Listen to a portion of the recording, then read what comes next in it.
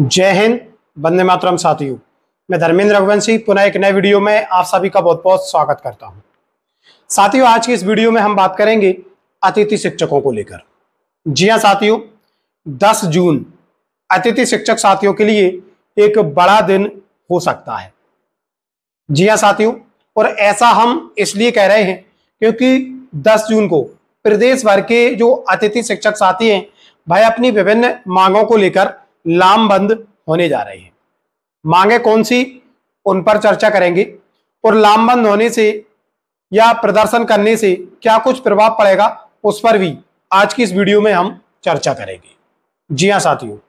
साथियों, विधानसभा चुनाव से पहले अतिथि शिक्षकों को लेकर पूर्व मुख्यमंत्री माननीय श्री शिवराज सिंह जी के द्वारा काफ़ी कुछ घोषणाएँ की गई थी, जिसमें यदि हम देखें, अभी तक मानदेय वृद्धि के अतिरिक्त किसी भी प्रकार की घोषणा पर अमल नहीं किया गया है। जैसे 25 प्रतिशत आरक्षण हो, साल भर सेवाएँ हो, या फिर हम यूँ कहें, विभागीय परीक्षा के माध्यम से अतिथि शिक्षकों का नियमितीकरण हो, जो भर्ती नियम है, उनका सरलीकरण हो, इस तरीके से यदि हम देखें तो किसी भी प्रकार की मांग अभी तक पूर्ण नहीं हुई है। अब उसी को लेकर जो अतिथि शिक्षक साथी हैं 10 जून को प्रदेश भर में एक साथ लामबंद होने जा रहे हैं। और पुरजोर तरीके से अपनी मांगे राज्य सरकार के सामने उठाने जा रहे हैं। साथियों, वर्तमान में डीपीआई ने अतिथि शिक्षकों की नियुक्ति प्रक्रिया को लेकर एक पत्र भी जारी किया है, जिसमें न्यू रजिस्ट्रेशन को लेकर निर्देश जारी किए गए हैं और पूर्व से कार्यरत अतिथि शिक्षक साथी अपनी जानकारी अपडेट करा सकते हैं। अब बहुत सारे संगठन के जो पदाधिकारी हैं अतिथि शिक्षक साथियों के, या लगभग जो अतिथि शिक्षक साथी है, वो ये चाहते हैं कि नए रजिस्ट्रेशन न कराए जाए। जो पूर्व से कार्यरत अतिथि शिक्षक साथी हैं, पहले उनकी ही सेवाओं को लेकर एक सुनिश्चितता तय की जाए, उसके बाद ही नए रजिस्ट्रेशन कराए जाए। क्योंकि ऐसे तो जो पूर्व से कार्यरत अतिथि शिक्षक साथी हैं, जिनकी सेवाएँ समाप्त की जा चुकी हैं, उनके साथ कुछ हो ही नहीं पाएगा। और साल दर साल नए जो अतिथि शिक्षक साथी हैं, वो स्कूल शिक्षा विभाग में आते चले जाएँगे। तो देखने वाली बात यह होगी कि 10 जून तारीख जो 10 जून है, उस दिन कितना असर अतिथि शिक्षक साथियों के द्वारा जो प्रदर्शन किया जा रहा है, उसका देखने को मिलेगा। हालाँकि यदि सभी अतिथि शिक्षक साथी पुरजोर तरीके से अपनी बात को रखते हैं तो निश्चित तौर पर जो राज्य सरकार है, वो इनकी तरफ़ ध्यान आकर्षित करने के लिए मजबूर होगी। और इनकी जो भी मांगे हैं, वो पूर्ण की जा सकती हैं।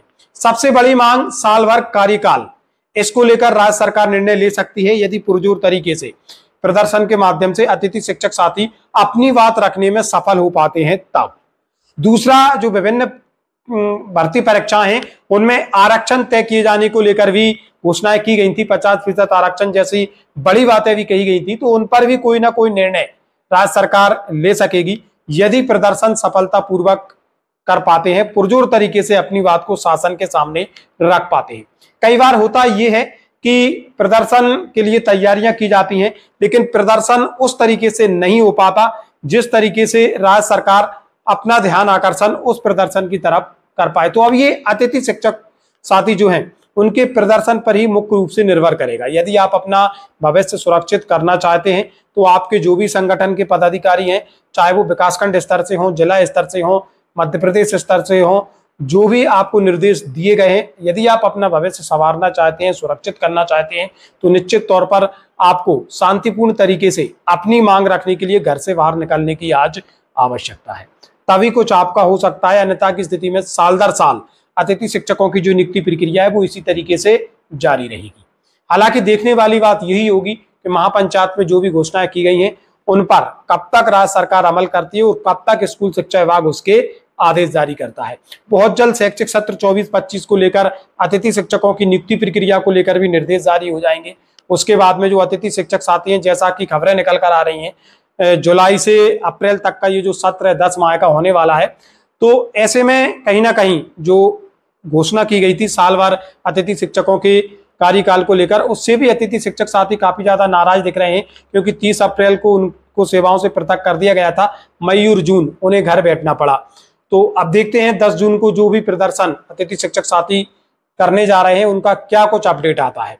साथियों, हम अतिथि शिक्षक साथियों से संबंधित पल पल की जो अपडेट है हमारे चैनल पर साझा करते हैं और इस वीडियो को बनाने का मकसद भी यही रहा है ताकि बहुत से अतिथि शिक्षक साथियों तक, अधिक से अधिक अतिथि शिक्षक साथियों तक ये बात पहुँचे कि जो भी प्रदर्शन आप लोग करने जा रहे हैं, शांतिपूर्ण तरीके से आप उसमें हिस्सा ज़रूर लें, क्योंकि ये आपका हक है और आपके भविष्य की आगे की जो दिशा है, वो ये तय कर सकता है। यदि अभी नहीं तो कभी नहीं, कुछ ऐसी स्थिति हो जाएगी। साथ ही ये था आज का महत्वपूर्ण अपडेट जो कि अतिथि शिक्षकों को लेकर था। मिलेंगे जल्दी नए अपडेट एवं नए टॉपिक के साथ। तब तक के लिए जय हिंद, जय भारत मित्रों।